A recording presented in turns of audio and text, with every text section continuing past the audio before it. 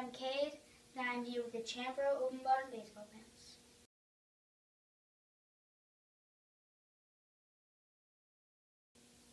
Hey, uh, I like these because they come down around the top of your shoe, and I think they'd just be great for youth baseball teams.